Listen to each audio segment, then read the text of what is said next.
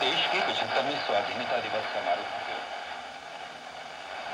अंतर्गत सरकार अनेक गतिविधियों का आयोजन कर रही है।